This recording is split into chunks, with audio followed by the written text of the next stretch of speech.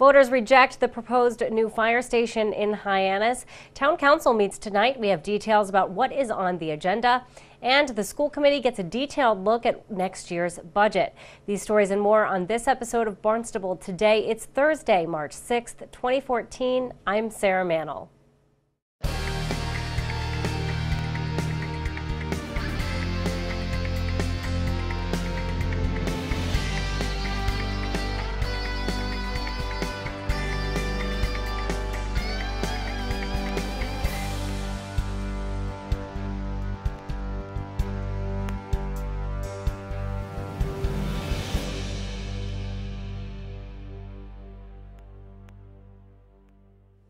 No new fire station for Hyannis, at least for now. 381 voters were present at last night's meeting at Barnstable High School.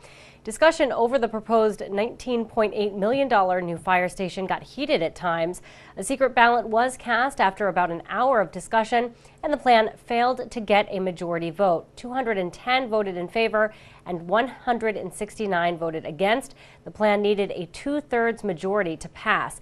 This may not be the end of the road, though, for the station. It's possible the plan could come up for a vote on the ballot in May. Barnstable Town Council meets tonight. First up, Council will recognize longtime Barnstable resident Lou Cataldo, who has made countless contributions to our community, including founding Tales of Cape Cod. Chief of Police Paul McDonald is also slated to give a presentation on the Regional 911 service.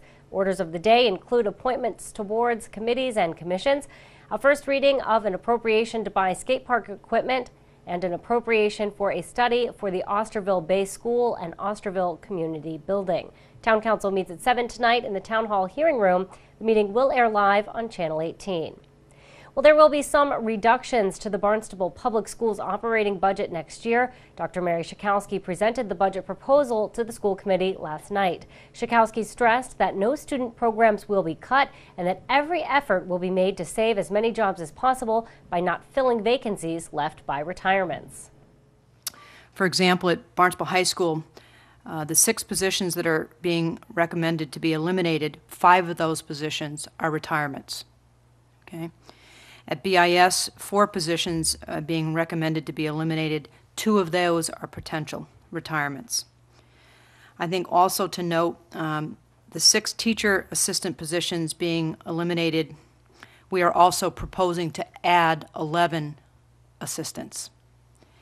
So teachers and obviously assistants may apply for these openings based upon their certifications. So it really is a budget that is a reallocation of resources based upon needs. You'll also see in this proposed budget that we've developed in-house special education programs, which best meets the needs of our students with disabilities, thus first allowing our students to be educated in their home school, and so simultaneously avoiding costly out-of-district placements and transportation costs. So as we continue to prepare this budget, and I would say future budgets, student enrollment continues to be a fluid process. For example, I'm recommending a reduction of staff at BHS, BIS, and BUES. However, our elementary enrollment is increasing, and as those students move through the system, staff may be added in subsequent years. Each year, enrollment will be carefully monitored, and staff will be adjusted accordingly. Through conservative budgeting in prior years, we've been able to maintain our staff, even though our enrollment at various grade levels has decreased. And that's a credit, I think, to the school committee and to uh, previous administrations, uh, that even though staff, even though our student enrollment has dropped, and you'll see that, we still have maintained our staff and still have re replaced our staff. And we continue to maintain very favorable student-teacher uh, ratios as compared across the, the Cape. And I, and I mentioned this as well last week. Everyone knows here our demographics are changing. Um, you'll see in this presentation our high needs population is increasing. But I think what's most important is that we continue to be diligent about offering a wide variety of programs. When you, when you look at the career academies that were just highlighted this evening, when you look at our advanced placement programs, when you look at our Mandarin Chinese programs, um, our arts, our music, our drama, our extracurricular, we're rich in those offerings, and I think we need to continue to offer those uh, in order to meet the needs of all of our students. Dr. Czajkowski described in detail about what positions will be eliminated and what positions will be added. So I begin with a reallocation of staffing uh, for optimal student uh, to teacher ratios. At Centerville, we're looking for an additional grade teacher, one FTE. At Barnstable United, a library media uh, teacher, in which we'll be negotiating with the union on a new library media specialist job description for an additional FTE. Uh, that is going to be offset by a district-wide elementary librarian position, which is a, a person who is retiring.